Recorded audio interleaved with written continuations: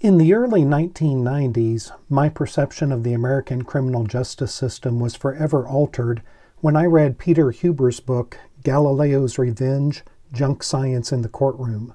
That book, published in 1991, is accurately described by the publisher as, quote, a scathing indictment of the growing role of junk science in our courtrooms. While Huber's book focused on civil liability cases, in this video I'm going to focus on junk forensic science that was used in criminal cases for decades and which resulted in the wrongful convictions of innocent people. I am Dr. John Padfield. I'm a business professor, and this is Business Reform, where I discuss issues at the intersection of business, technology, and society. In this video, I'm going to be focusing on the intersection of forensic technology and its impact on society. To keep this video short, I am turning this subject into a series of videos, and each one will focus on just one debunked forensic technique that has been used to convict and in some cases led to the execution of innocent people. The focus of this video is bullet lead analysis. The first time I ever heard of bullet lead analysis was in an episode of CSI, Crime Scene Investigation, a CBS police drama that ran from 2000 to 2015.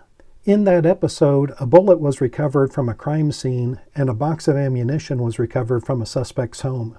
The bullet from the crime scene and a bullet recovered from the suspect's home were both then chemically analyzed in a crime lab and determined to be a match, thus proving the suspect was guilty.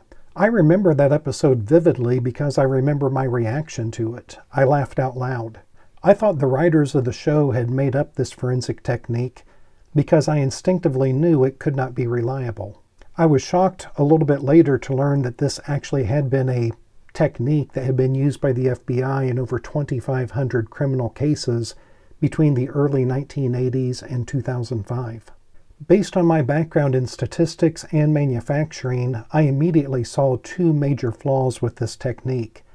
The technique is based on the idea that lead used in bullets is not 100% pure and that the exact composition of the impurities varies from one batch of lead to another. That much is true. However, the technique also assumes that the impurities are consistent enough from bullet to bullet within the same batch of lead that you can compare two bullets and determine if they came from the same batch of lead. That is not true. Let me illustrate with an analogy.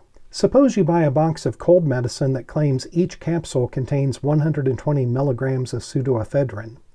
How do you know each individual capsule contains 120 milligrams? The capsule itself weighs 600 milligrams, so that means the capsule is only 20% active ingredient and 80% inactive ingredients, such as castor oil, colloidal silicon dioxide, cellulose, etc. Imagine these 80 yellow M&Ms represent the inactive ingredients, and these 20 red M&Ms represent the pseudoephedrine. This is what would be inside of a mixer at a pharmaceutical company making cold medicine. Ideally, every capsule would contain 20% red M&Ms and 80% yellow M&Ms. But if I don't do a good enough job mixing it up, when I reach in and I pull out my sample, I might not have the right ratio. In this one, it looks like I have a whole lot more yellow than I do red, so that I would actually have less than 20% ephedrine. I would have more than 80% inactive ingredients.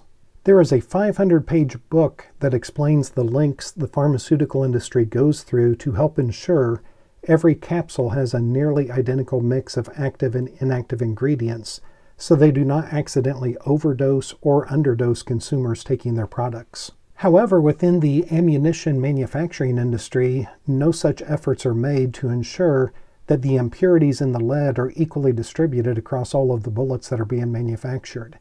This means even within a single box of ammunition, the percentage of impurities can vary significantly from one bullet to the next. The second problem with bullet lead analysis is the exact opposite of the first. Even if it were possible to match a bullet recovered from a crime scene to the batch of lead from which it was made, how many matches would you be able to make? In other words, how many bullets are produced from a single batch of lead? This is an M2R automatic casting machine from American Casting Equipment. It melts lead to make bullets. It has a 150 pound pot capacity, which means with this machine it could make over 9,000 115 grain 9mm bullets, or 182 boxes of 9mm bullets. Large commercial ammunition manufacturers such as Remington use different processes, and I was unable to find out how many bullets they produce at a time. So I am going to be very conservative and stick with 182 boxes. There's a good chance all 182 boxes would be put on a pallet and shipped to the same retail outlet or gun store.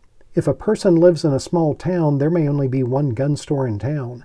So anyone in town who buys a box of ammo from that store would be purchasing bullets that would be considered a match if their box of ammo was compared to another bullet taken from those 182 boxes that might happen to have been used at a crime scene.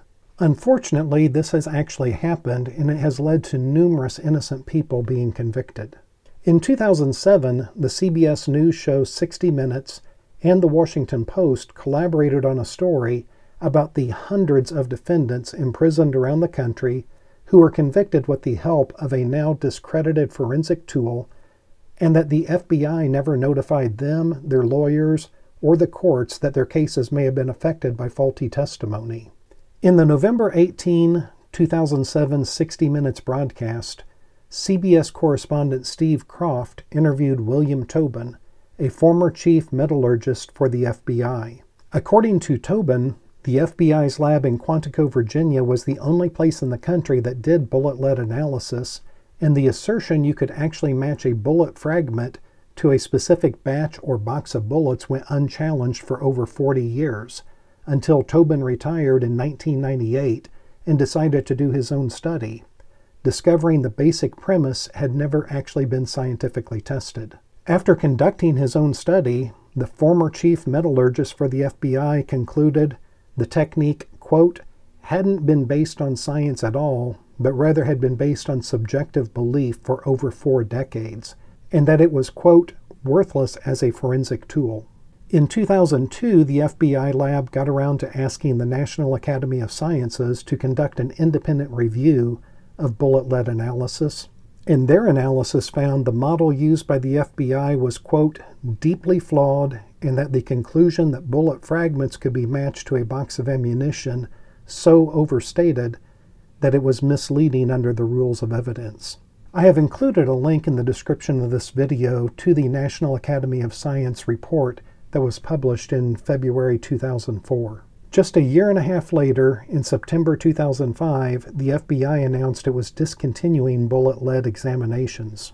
The Innocence Project is a not for profit organization founded in 1992 that works to free innocent people who have been wrongfully convicted. They advocate for various reform measures in the criminal justice system, including misused forensic techniques, which they have found to be a factor in 52% of the wrongful convictions they have successfully overturned.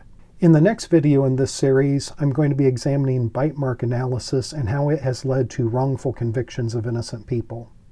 If you got something out of this video, please consider subscribing and thank you for watching.